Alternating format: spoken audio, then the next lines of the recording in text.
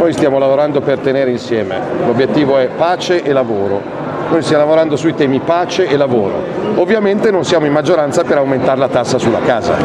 Di questo Letta se ne faccia una ragione, l'aumento della tassa sulla casa e sui risparmi non potrà mai essere approvato e avallato dalla Lega.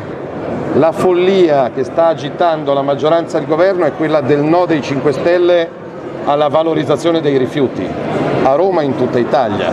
C'è mezza Italia in emergenza rifiuti, gli, gli italiani pagano centinaia di milioni di euro per portare rifiuti italiani in giro per l'Italia e per mezzo mondo, dalla Spagna al Portogallo, e quindi trasformare i rifiuti in energia, in calore e in ricchezza è un dovere.